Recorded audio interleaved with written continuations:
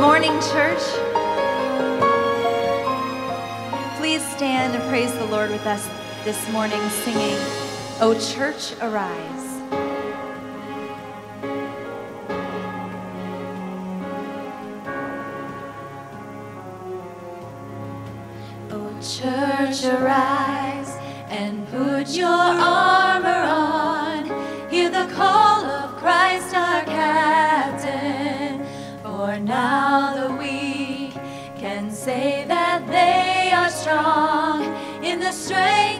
God has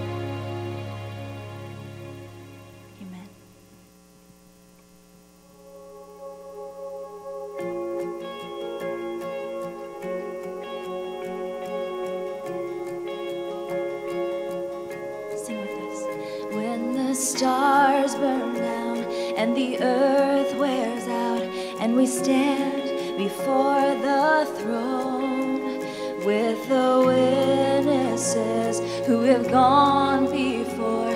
We will rise and all applaud, singing blessing and honor and glory and power.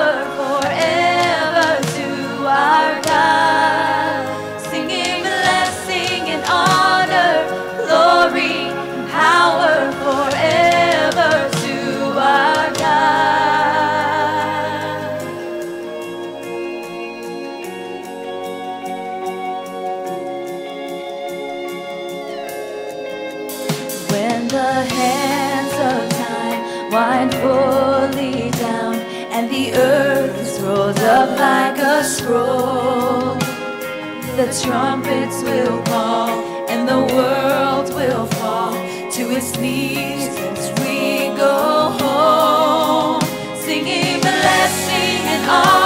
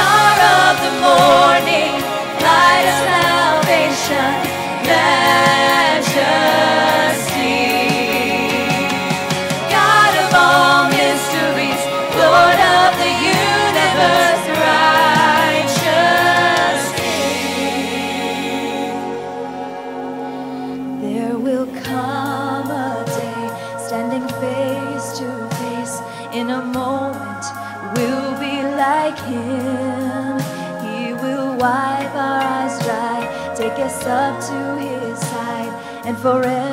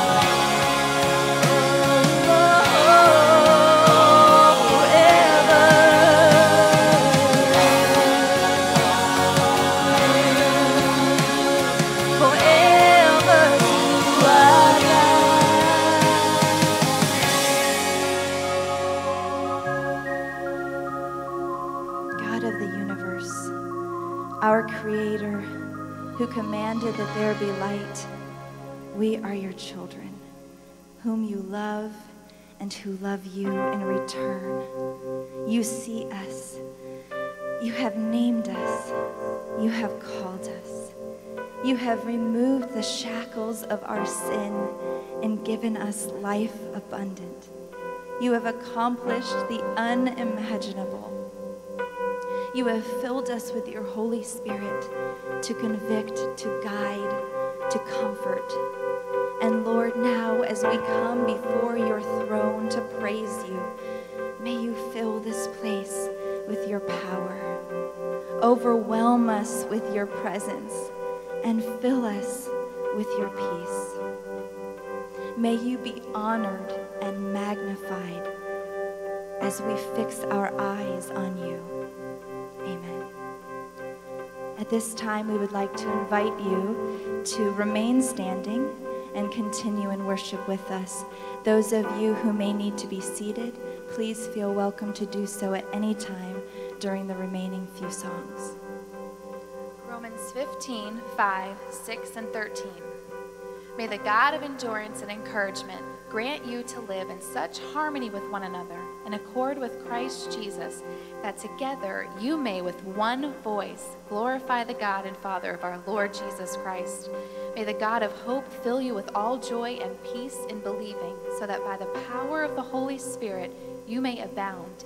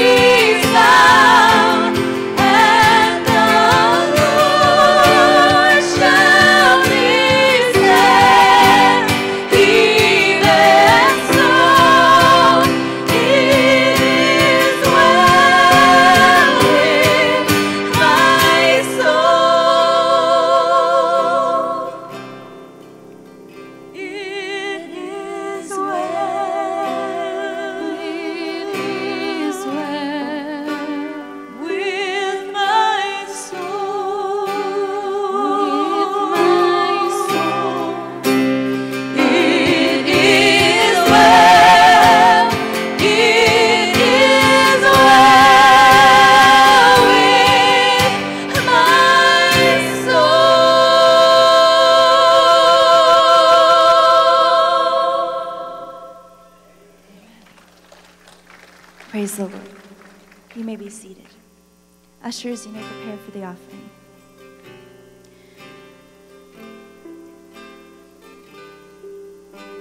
Lord, thank you for providing us your spirit to lift our heart's gaze back to you. You are the creator and source of all things good. You have showered us with grace and love even on the days we turn from you and engage with the follies of this world. Look into our hearts now and receive this heartfelt thanksgiving we offer to you. Take these gifts. May they bless you and meet the needs of our congregation and community. May we seek after you with everything we are, because you are the most important treasure in life. Verses especially meant a great deal to me this past week as I was in deep need of spiritual refreshment. Psalm 42. As the deer pants for the flowing streams, so pants my soul for you, O God. My soul thirsts for God, for the living God. Why are you cast down, O my soul, and why are you in turmoil within me? Hope in God, for I shall again praise him, my salvation and my God. Sing with us as the deer.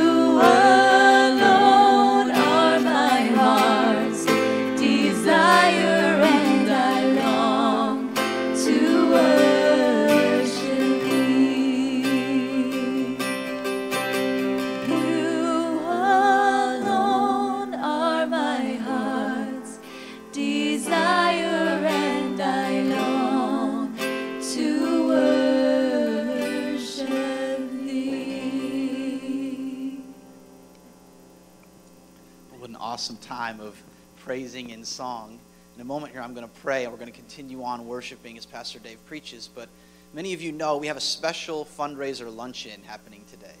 And I just wanted to take a quick moment to see if there was anybody in here who didn't have the opportunity to RSVP, or maybe you didn't think you'd be able to go, but you think you'll be able to make it today. Can you just raise your hand for me if you didn't get to RSVP and you think you'll be here? Okay, I see a few of you there.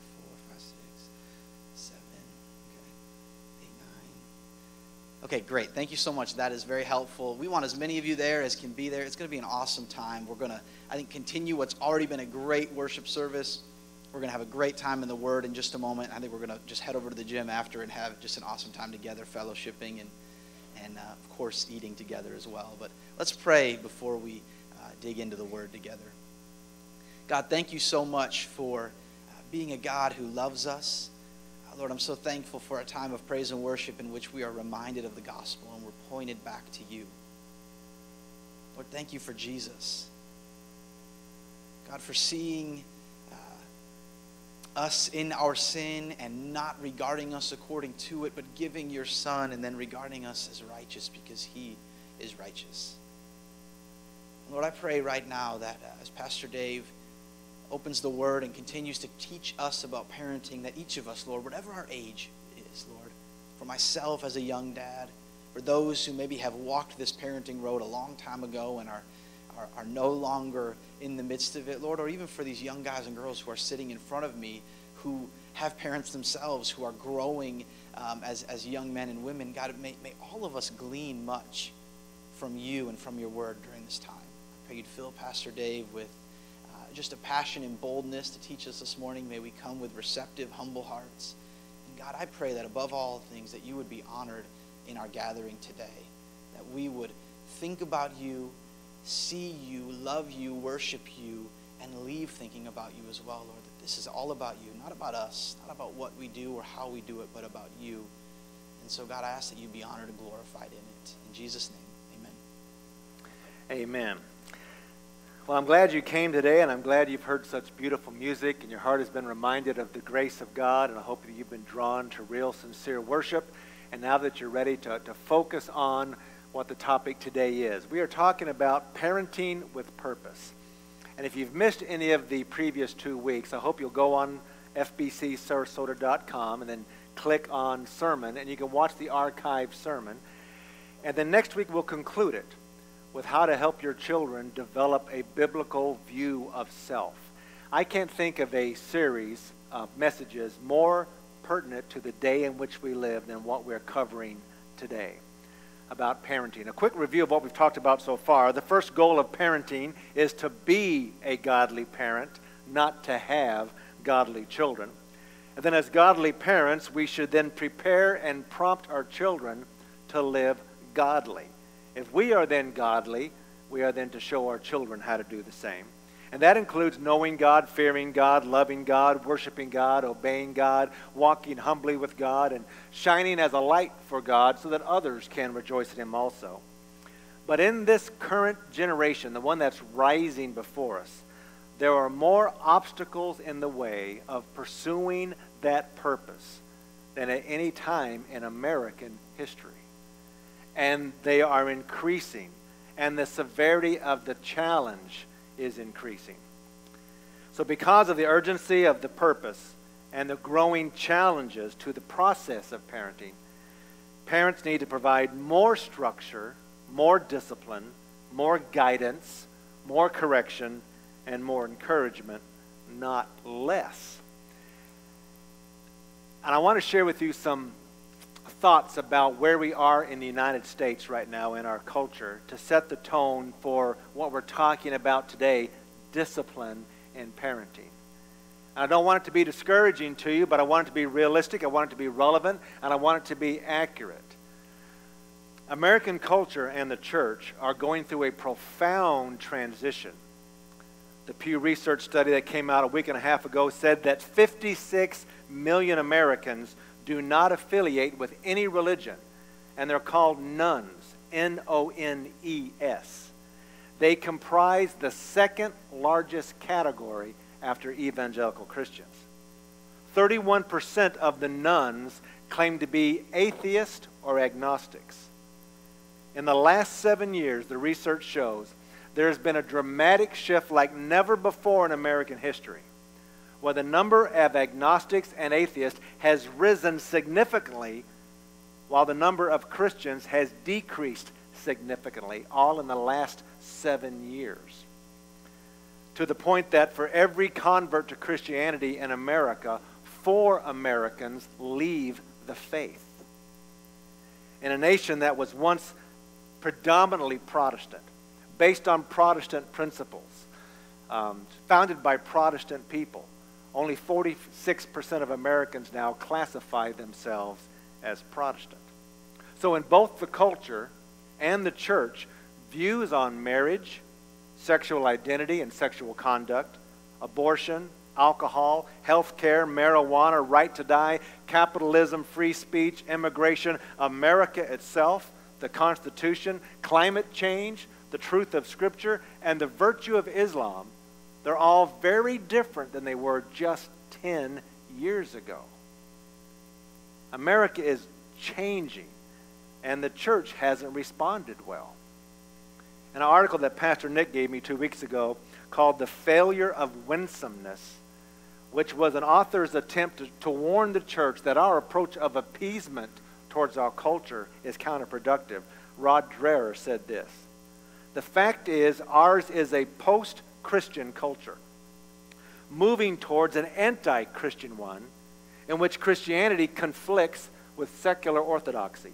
Any churches that remain faithful to clear biblical teaching will be increasingly anathematized in this country. Christians are a tad above flat earthers and KKK members and the Puritans of the Salem witch trials. ISIS and Al Qaeda are victims of the American military industrial complex, and evangelical Christians are racist homophobes trying to ram religion down people's throats, which in today's society is actually worse than slitting somebody's throats. We are below them in the mindset of our culture. The Wall Street Journal and the NBC poll two weeks ago released this stat. If given the choice between a gay and a lesbian presidential candidate and an evangelical Christian candidate, the majority of Americans would choose the gay or lesbian candidate. Now, regardless of your politics or your stance on sexual identity, that is a huge shift in the way our culture thinks. America is changing right in front of us and we seem powerless to do anything about it. We have been successfully marginalized, and it may take generations to recover. America's moral compass is reversed, it points at the wrong pole. We applaud and we revere entertainers who inundate us with sexually provocative acts on stage and violence in movies, yet we ridicule and demean and belittle the Duggar family whenever they express their views about life in the womb or marriage or guns.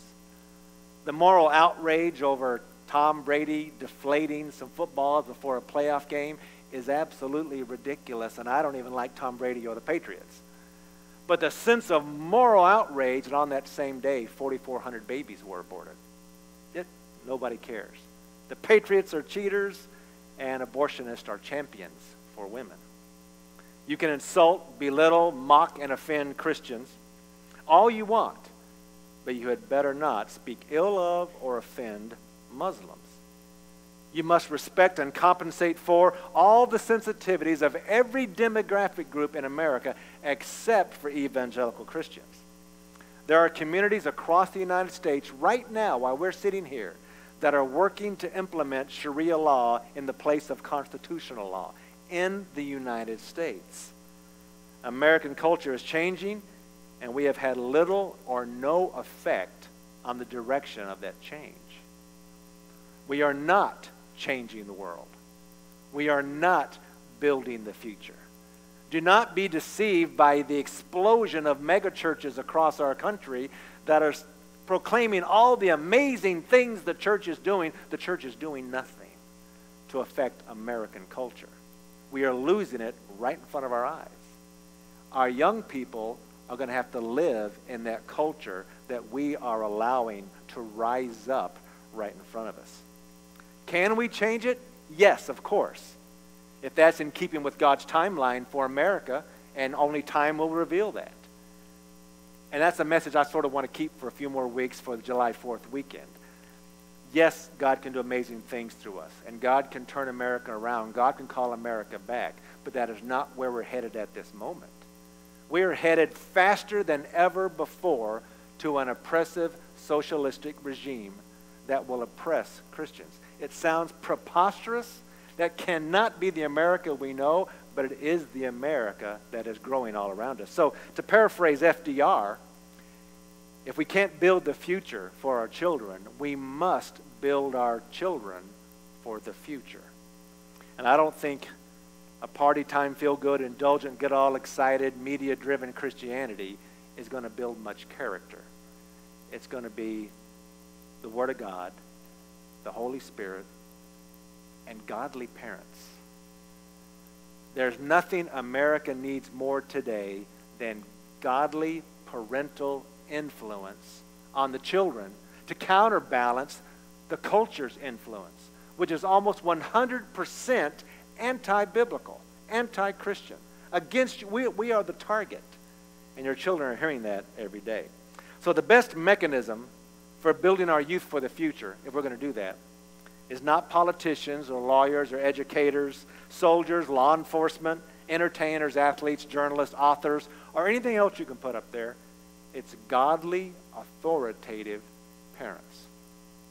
And I use the word authoritative in contrast to authoritarian or permissive or neglectful. Authoritarian, authoritative parents are high in love and high in discipline. The authoritarian parent is low in love but high in discipline. The permissive parent is high in love but low in discipline. And, and the neglectful parent is low in both love and discipline.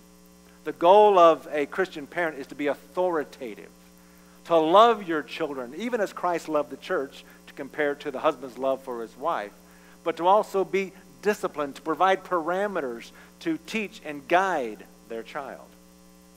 In Ephesians 6 4, the Bible says, Fathers, do not provoke your children to wrath, but bring them up in the training and admonition of the Lord. And Colossians 3:21, fathers, do not provoke your children to wrath, lest they be discouraged. And we talked about that last week for a moment. We gave you a list of things that can discourage or provoke your children to wrath. We're going to focus on one this morning. But another one of those is often as parents, we try to mold our children in our own image.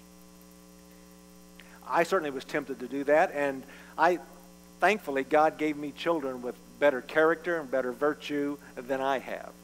And I learned a lot from my kids. I learned a lesson from David one day when he wanted to go play tackle football.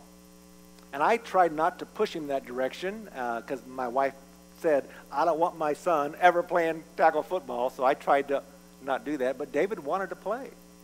And David is a gentle person. Uh, he's much different than me. I, I'm not a gentle person.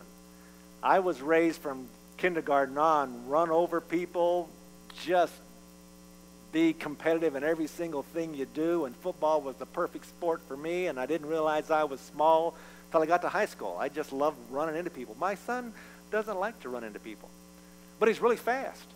He got on the football team, he was doing good, he was having fun, and the second year we're playing, and, and they have a drill called the Oklahoma drill which is uh, this drill where two people basically run into each other, helmet to helmet, to see who, who the best man is. Well, David is the kind of player who received the hit. He'd stand there and wouldn't back away, but he never delivered the hit. And I kept trying to tell him, Dave, you got to deliver a hit. You got you got to step into it. Well, they had this beast of a human being called Corey on the team who shouldn't have been playing with the little children, angels who were dressed up there. He he was just a a ferocious running back. Well, in this line, I'm watching the lines. I'm counting up. Oh, it's Corey. It's David. Corey and David are going to hit head to head. And uh, I'm, because I'm the head coach. So I can't do anything about it. I'm sitting here scratching, wondering what's going to happen here. They line up, and all the coaches getting excited. All the coaches had wanted to see David hit somebody because he just, he tackle him. He'd run over there and get there, but then he'd sort of like just sort of jump on him. So they're going, go, David, hit him, David, hit him, David. Well, the whistle blows, they get up, and David stands straight up, and Corey runs into him. David wraps around him, and they fall down. There's no, there's no sound. There's no hit. Coaches are screaming and hollering. They go, do, do it again, David. David gets down there. They do it again. And then it's the next people's turn. They get back in the bag. Well, one of the coaches blows the whistle and says, Coach, Coach Anderson, can we have David and Corey do that again? And I'm thinking, please, God, spare my son. So they get up there again, and, and I said, David, just throw everything away. Just hit him. So the whistle blows. They get up, and they bam! They hit helmets. It was so, it just cracked through the air. They fell down to the ground. And throughout the whole year, whenever anybody hit this Corey kid, there was usually a fight afterwards. So they both stood up and they bumped chest, and then the guy patted David on the backside and said, Good hit. They got back in line, and all the coaches were screaming and hollering, David Anderson hit somebody. They just couldn't believe it. We get in the car, and I said, David, I said, that was really some hit. He goes, Thanks, Dad. I said, uh, Why don't you do that more often? I don't really want to. What? You don't really want to? Uh, how can you be an Anderson? You don't really want to. What kind of philosophy is that? But that was him. I had to step back and realize my son is somebody different than me. He wasn't designed to be a reflection of David Anderson. He was designed to be a, a reflection of what God created him to me, to be. If you want to provoke your children to wrath, try to make them into little U's. Just don't do that. Now, the one thing we brought up last week I wanted to emphasize today is discipline. Heavy handed discipline is one of the main forces of provoking your children to wrath, yet we are to do it. Proverbs 13 24, Proverbs 19 18, Proverbs 22 15, and Proverbs 29 15. These are the verses that seem to strike fear in the hearts of children. He who spares his rod hates his son, but he who loves him disciplines him promptly. Chasten thy son while there is hope, and let not thy soul spare for his crying. Foolishness is bound up in the heart of a child. The rod of correction will drive it far from him. The rod and rebuke give wisdom, but a child left to himself brings shame to his mother. Discipline, whatever form you choose. My, the form my parents chose was spanking. My mom used her hand, my dad used his belt, and my Gamby used a pussy willow branch. You ever seen a pussy willow branch? You shave the little fuzzy things off that were the padding, and you got just a little bullwhip. I can't even say pussy willow anymore without getting cold chills down my back from my grandmother hitting me with a pussy willow branch. But it was spanking. Now, whether that's the mode that you choose or not, discipline is essential. Why do children need discipline? It's because they're just like us self centered and short sighted sinners. The Bible says all have sinned and fallen short of the glory of God. That includes your children. And if you allow them to, at even the earliest age, they will impose their will on you and on the family. A child's natural instinct is to get things their way and to revolve the world around themselves. Somebody has to show them, no, there's a different value system in this family, and it begins with us, the parents. That's where discipline steps in. Your children will have a tendency to put self first. If you don't teach them otherwise, you'll prepare them for a life of heartache or causing heartache to others. Discipline begins with the parents. You should be preemptive and proactive, not reactive when it comes to discipline. I want to give you just a few quick principles of discipline that I hope that you'll take note of. The first is the focus of discipline should be correction, not punishment. The goal is not to make them hurt, but to make them change, to influence them to change. And not only change their behavior, but the way they think discipline that corrects their behavior and the way they change, the way they think, sets them up for obedience when you're not around.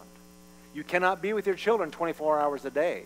They will be away from you with other little children for many, many hours of every day, being influenced by them, ha- having choices given to them to make, that if you haven't taught them how to think about the opportunities, they will make the wrong decision. Discipline should be to correct behavior and to teach them how to think, not just to punish. That's not the purpose. The motive of discipline should be love, not anger. Truly loving your children means you desire what is in their ultimate best interest, which is for them to know, love, and obey and, and please God. You want them to learn what is God honoring behavior. The discipline you implement is to come from that motive, not because they have irritated you, frustrated you, exasperated you, or angered you. That's not the right motive for discipline because you're angry. And just so you know, yelling is not discipline. Yelling is closer to terrorism. Yelling is, is not discipline. When you've lost your temper, your discipline has lost its effectiveness. That's why you, as a parent, have to prepare your heart and mind for discipline. To take a step back and assess and analyze what has really happened and what is the most effective way for you to respond, not just for you to respond based upon your emotional state, because you're teaching your children to respond based upon their emotional state. Your calmness and your calm demeanor can teach them great things. And children can tell the difference when they're being disciplined by love or by anger. Not that hard to tell. It could be your red face or the veins popping out of your neck or the yelling. But when children are disciplined in anger, they tend to conclude this very dangerous conclusion I'm getting spanked or disciplined because mom or dad lost their temper, not because I did anything all that bad. And when they can make that subtle mental shift, they begin to learn how not to disobey too much. They learn how to push the envelope just before you lose your temper, then they taper it back. They've learned there's the second or it's the third time that mom or dad really get mad. So the first time is a pass. Second time you got to be a little sneaky, and the third time you better not do it, or you better not do it in front of them. That's not the lesson of discipline. Discipline is to teach obedience in heart, soul, and mind, so they can learn to be obedient to God. It's the same thing you and I try to learn in our lives towards God. For parenting, you need to make sure you discipline out of love and not anger. If you discipline your children with a calm demeanor, they have a much better chance of associating their disobedience with the discipline rather than your anger with the discipline. Next, the accompaniment should be confession, not rationalization.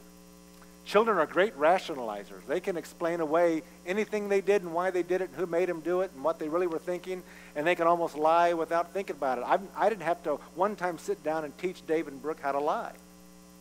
I never had to say, now, when you do something wrong, here's how you deflect the blame over to your sibling. Never had to teach them that. It seemed to be a natural thing to, oh, it wasn't me, I didn't do it, I didn't mean to. It, that, that's just natural. But to teach confession, is an important spiritual lesson. You want them to verbalize what they did. So before you implement the discipline, ask them, what did you do? Why was it wrong? What is the penalty for that offense? All that helps them realize I'm about to get in trouble because of what I did, not because mom and dad are hotheads. Once an offense has been confessed and discipline is implemented, then don't readdress it in a disciplinary tone. It's done. For many parents, we don't forget what our child has done, and we bring it up again and again and again. Confession should lead to cleansing and restoration. When all confession does is lead you into trouble, you tend to not to want to confess things. We don't want to teach our children, don't confess to God, because you confess to God, nothing but trouble comes. Well, the way they learn that is when they confess to you, what is the result? Discipline, but restoration of relationship. That lets them realize confession is a good thing. Confession is a step towards cleansing. Confession is a step towards reconciliation. The duration of discipline should be limited, not ongoing. That means the the moment it happens, the discipline should be timely, as close to the offense as possible, not they disobey, and wait till your father gets home and four hours later discipline is implemented. It should be close to when the offense actually occurs and limited to one application, not ongoing, not continual, because that teaches them that my problem never goes away. there's no chance for changed behavior.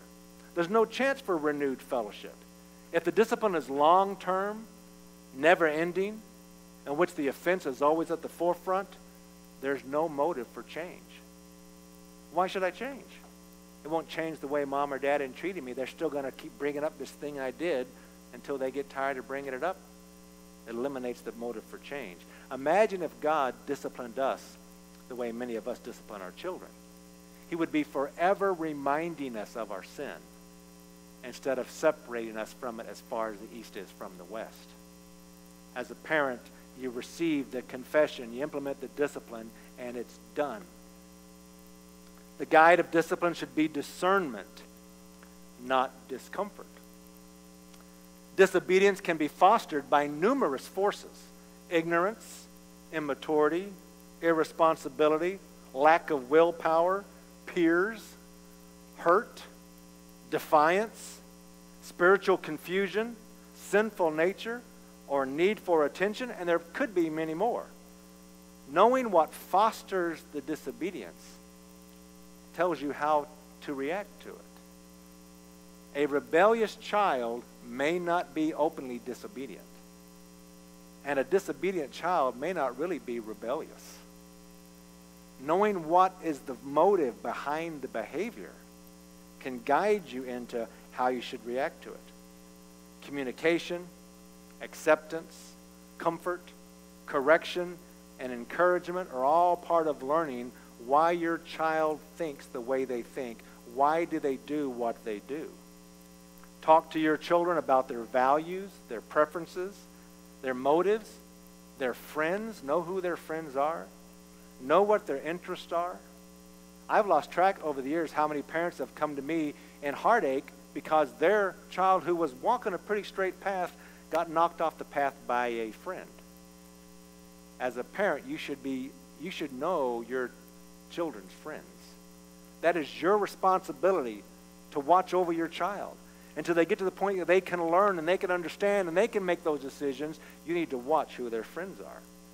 So the guide of discipline should be your discernment of the situation, not how much it discomforted you or embarrassed you or made you look bad. The occasion of discipline should be consistent and reliable. By the occasion, I mean what brings it about. Your children should never be caught off guard that they got in trouble. Oh, I didn't know that was. That, that should never happen. They should have a clear understanding of what the rules are. So when they violate it, they know they're violating it. And then when discipline is imposed, they know exactly why the discipline is being imposed. And it should be the first time the infraction occurs. If you say to your child, do not throw mashed potatoes on your brother, and the child picks up some mashed potatoes and throws it on the brother, you've got a choice to make. Your choice can be, now I said don't do that. That teaches nothing. Don't you do that again. That teaches nothing. Or you can implement discipline right then. And it teaches your child if I break the law, I get in trouble. But the occasion has to be consistent. If it's one day I get in trouble and the next day I don't, because it's based on mom or dad's mood, it teaches them that God is moody. And as long as you learn how to play the mood and play the game, you won't get in trouble. And you can do what you want. That's a terrible lesson to teach our children. It's far better to discipline first, right when the offense takes place. Explain to them if you've explained to them that's a violation. Don't surprise them with rules you're making up along the way. That's not fair to them either. And the effectiveness of discipline is based in the relationship, not the sternness of the discipline. If you want to have effective discipline with your children, it begins with your relationship with them. There's a phrase that we've said many times here at Faith, and you probably read it in books too. It's rules without relationship produce resentment. Another way to say it in American history is taxation without representation produces a revolution. If you have no relationship with your children, or they think you have none, any rule you impose, and certainly any discipline you impose, will only embed resentment in them. For the discipline to be properly understood by the child, the relationship can't be negotiable or wavering. Such as when they're behaving good, everything is nice. But when they misbehave, they get nothing but displeasure and anger. And sad to say, there are many parents who pout. The silent treatment isn't good in marriage, and it's not good in parenting. It's childish, it's petty. Always keep the communication lines open. The tighter the bond between the parent and the child, the more effective the discipline. And I can say this the tighter the bond between parent and child, the less severe the discipline has to be.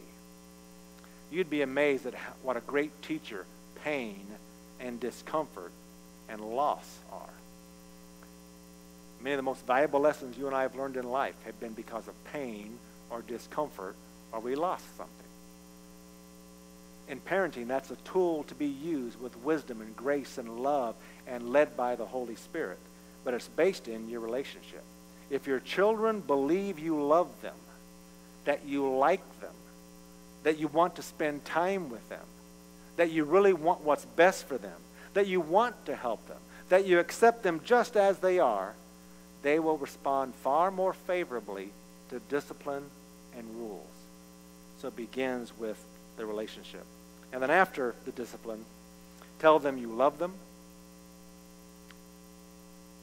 pray with them, hug them immediately afterwards, and no silent treatment, and no continued anger. I have to publicly thank my dad and my mom both, but my dad because he's here. I can vividly remember the way he used to spank me. And it was part psychological warfare and physical torment. But if I broke a law, Dad would say, David, go to your room and wait for me. Well, I'd go to the bedroom. It could be 30 minutes. I'm in there being terrorized by the wounds going to be inflicted upon me because of what I've done. But my dad tells me it was really so he could calm down. So he could walk in the room calm. He'd walk in the room calm and say, David, what did you do? I tell him what I did. Are you sorry you did it? Yes, sir, I'm really sorry. I'm so sorry. I don't need a spanking. No, that ain't going to work. Are you really sorry? I'm, I'm, I'm sorry. Oh, you know what the, what the penalty is? It's a spanking. All right, bend over on the bed. And then he'd take out his, pull out his belt so you could hear it shh, like a sword coming out of a sheath. I'm looking like this behind me. And whap, one good whap. And that was all it would take. And then he said, now sit up. I'd sit up. He'd sit next to me, put his arm around me and say, now, Dave, I love you. You can't act like that. You can't do that. It's not good. And it was done right then. Didn't continue on for the next hour. I didn't have to avoid his angry glare for the next 30 minutes. It was done as soon as the spanking was done. God is a God who loves us. I want you to turn to this passage as we read this in closing. It's Hebrews chapter 12, verse 5. I want to read this, then we'll pray. My son, do not despise the chastening of the Lord. If you want to put the word spanking in there, that's fine. Nor be discouraged when you are rebuked by him. For whom the Lord loves, he chastens, and he scourges every son whom he receives. If you endure chastening, God deals with you as with sons. For what son is there whom a father does not chasten? But if you are without chastening, of which all have become partakers, then you are illegitimate and not sons. Furthermore, we have had human fathers who corrected us, and we paid them respect. Shall we not much more readily be in subjection to the Father of spirits and live?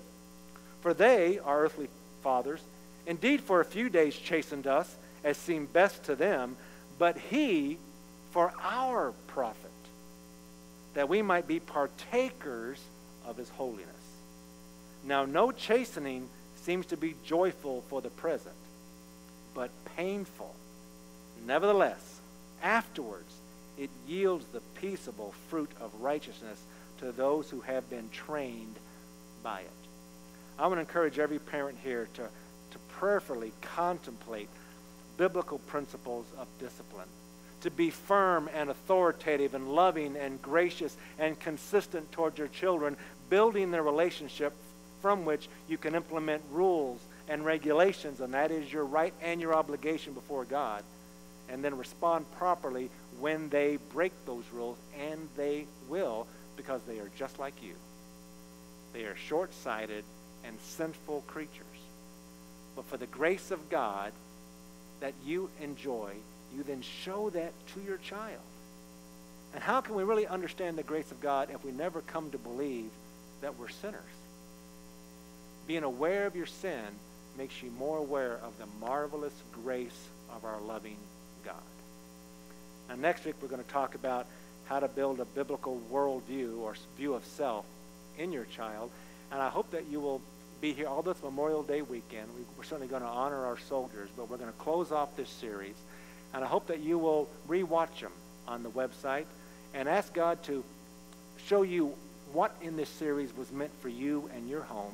And God will guide you just the way He has guided me and the way He has guided many of you here.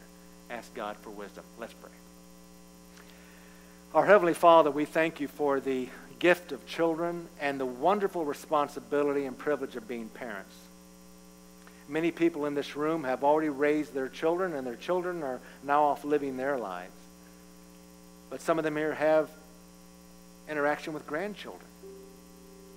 Or some of them might be able to encourage young parents.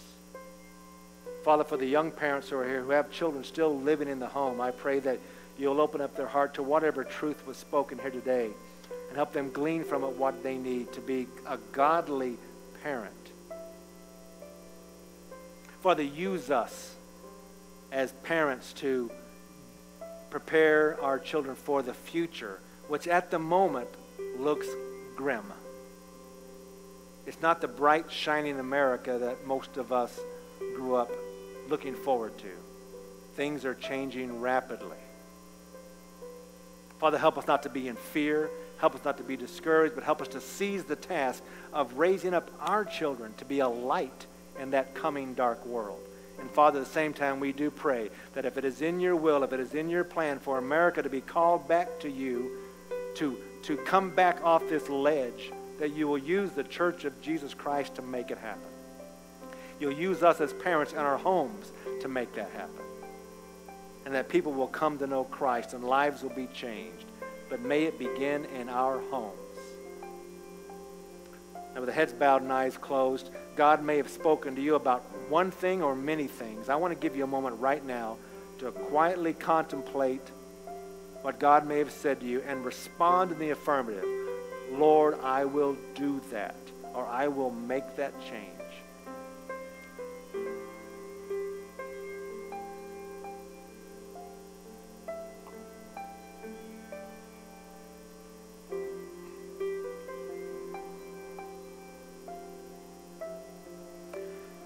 Father, we are a small church, and the number of families we have with children is a, a small number.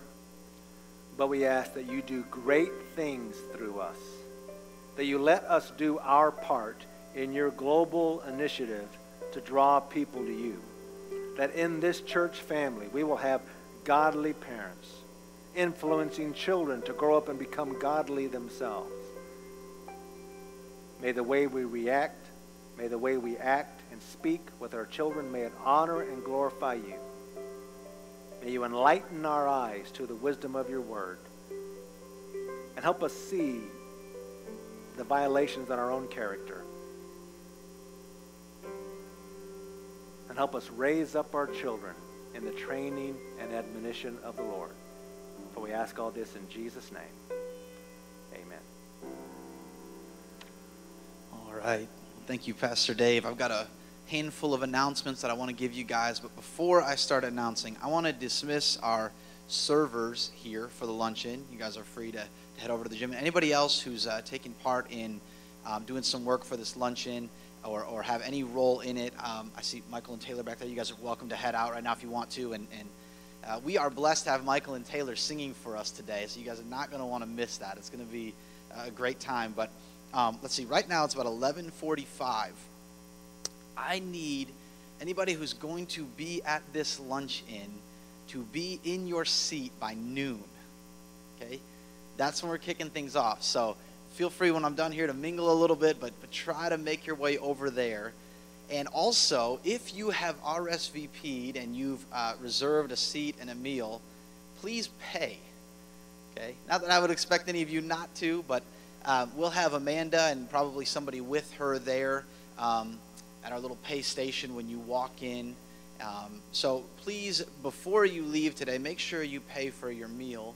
And uh, before you leave uh, the gym today, make sure you pay for your meal and, and, and uh, make sure you connect with Amanda and do that. But again, if there's anybody who didn't RSVP and you want to come join us, you are welcome to do so. I'm pretty sure that John will have some extra made and, and we'll have room for you guys. All right, tonight at 7 p.m., Pastor Dave will be live streaming. He'll be answering this question What does it mean to have faith? This coming Wednesday, we will continue on with our fellowship dinners. We'll have some pizza and salad available for you guys. And actually, this Wednesday and then the Wednesday after, we'll have uh, some missionaries with us sharing about their ministry and what's taking place in their fields of service. Uh, this coming Saturday, we need 10 men to come work for an hour or two um, here at the church. And uh, I want to put some of you on the spot here. Can I get 10 men to raise their hand and say, Pastor Nick, I'll be here on Saturday to help you uh, do a little bit of work? It won't be a real long time. I don't want to um, scare you with that, but just a short period of time. Can I see one, two, three, four, five, six? Um, it actually it doesn't say what time. We do prayer at nine o'clock, so let's go ahead and and um, just say right after prayer. If you can come for prayer at nine, and then right after that, so probably nine forty-five. Be here. Um, I think I had seven or eight. Okay, I see one back there. I saw you skip. Okay. All right. There may have been more, but all right. So those of you who raise your hand, I'm, I'm, I'm expecting that, that you guys will be here to serve, and um, it'll be it'll be a good time of, of getting some stuff done. We've got a couple of um, important projects to finish up quickly on that day. Uh, Saturday, June 6th, we'll be having a prayer breakfast, and this is something that Pastor Dave and I want to host uh, maybe once a month starting on that day in June. Uh, just this for everybody to come, get involved, families to come, eat together, have breakfast. Uh, kids can, can come play outside on the playground, or uh, you know, it's just going to be a kind of an informal time of fellowship and communion and, and time of prayer together as well. Uh, the sports camp we'll be hosting is June 15th through 19th. Many of you know about that. You've heard about it. Uh, Miss Renee gave me a, spe- a special announcement for that. That is, if you have indicated that you want to volunteer right after we're done. Now, you'll need to do this in time to get over there and then get over to the gym. But right after we're done, go to the warehouse and pick up an info packet from Renee. She's got all the info you need if you are a volunteer for that sports camp. I want to also encourage you to invite children to be there. Or if you haven't volunteered yet and you want to volunteer to be uh, a worker there, please see Renee. And then uh, also, we have a new giving kiosk. I don't know if it'll be in the back today or if it's already over in the gym. We'll be using it today for our fundraiser as well. But we have a kiosk that you can give toward or give on. Um, you can use your, your bank card or your credit card if you want to tithe that way or you want to give to special projects.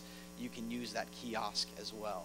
All right, well, I hope to see you all over at the gym for our special luncheon. And I believe we can stand together, shake some hands, and you guys are going to close us out in song here.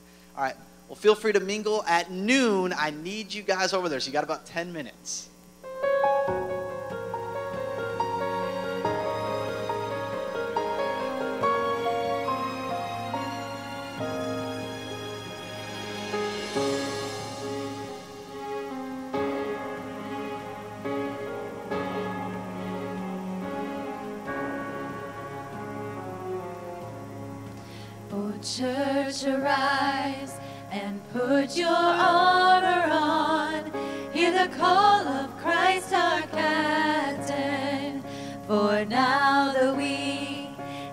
Say